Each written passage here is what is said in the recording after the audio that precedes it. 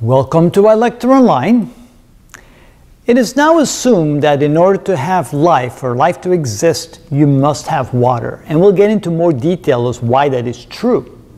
Yes, there are theories and there are assumptions that maybe there's some other liquid that could replace water and function as water in, within life, but I wouldn't think of what else that substance could be, and I don't think anybody can come up with a good replacement of water because water is so unique in so many ways.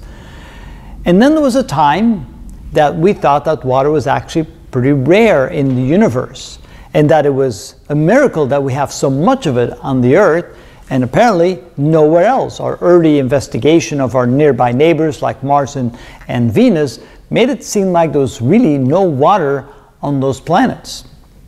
Well, now we know that is not the case we have found substantial evidence that there's water on Mars, still in mostly frozen state, and some within the below the surface there's some liquid water. But we also have evidence that there must have been vast oceans of water on Mars once upon a time. And then also we now find that most of the moons in the outer solar system contain a significant amount of water, and we've we found some moons such as Enceladus and Dione that have actually water volcanoes that spew water out like volcanoes, from volcanoes, I should say. And so we know that there's a lot of water in the solar system. And then if we go further out and we look at the dwarf planets, many of those are made of substantial amount of water.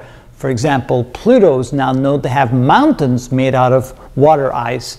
And so therefore we realize that water is actually a quite common substance in our solar system and presumably in the entire universe.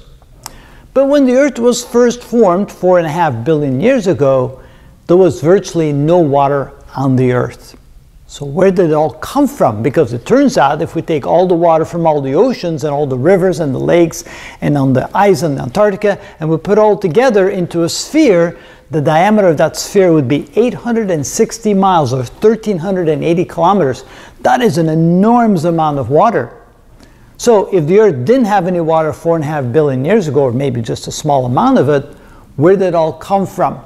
Well, it turns out as the Sun first formed, and it was a protostar, it was a much larger star than it is today because stars first, as they form, they're larger, then the gravity causes them to shrink, and then the radiation then stabilizes their size.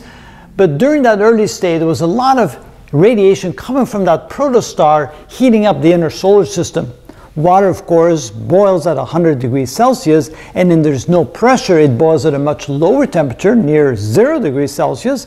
And so, therefore, water would then be turned into vapor, and then the radiation would drive that water vapor away from the inner solar system until it got cold enough, far enough away, where the, where the water vapor would then turn into ice. That's called the frost line. And that frost line was well beyond where the terrestrial planets existed. So in the early formation of the solar system, before the planets were formed, all that water was driven to the far regions of the solar system. And that's why the moons that are formed around the uh, gas planets in the outer solar system contain so much of that water. And of course, we have beyond that, we have the Kuiper belt that contains all of the, uh, the, the, um, the, minor planets. And then we have the Oort cloud, which contains just billions on billions of uh, what we call dirty snowballs or comets or comet particles, and that's where all the water was driven to.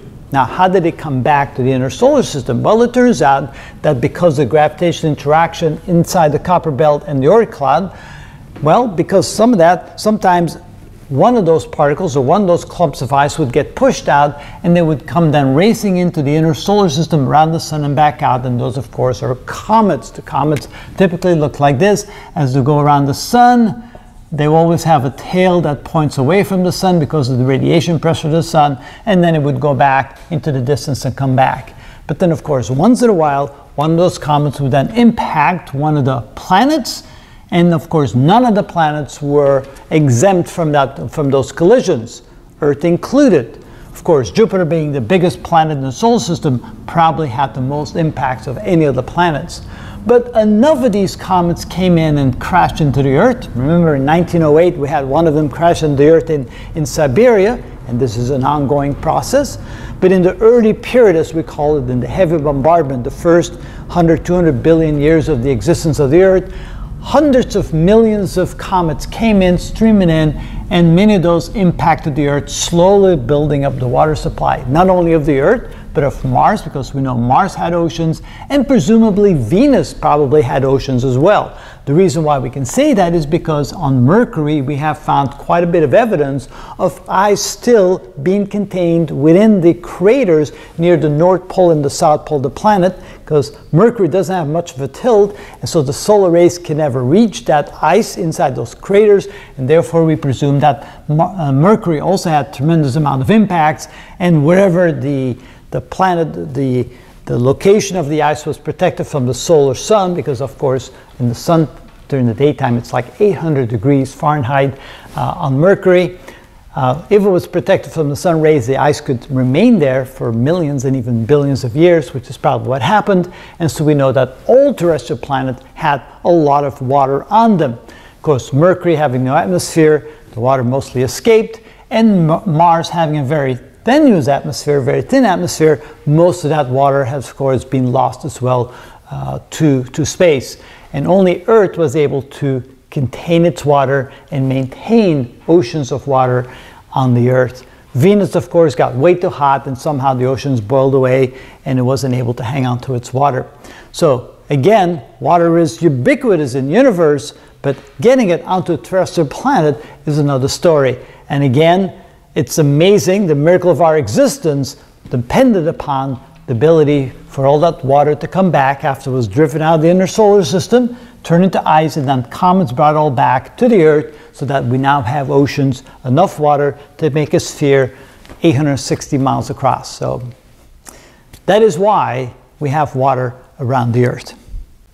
Hmm. And here's our new little kitten. And our little kitten has grown.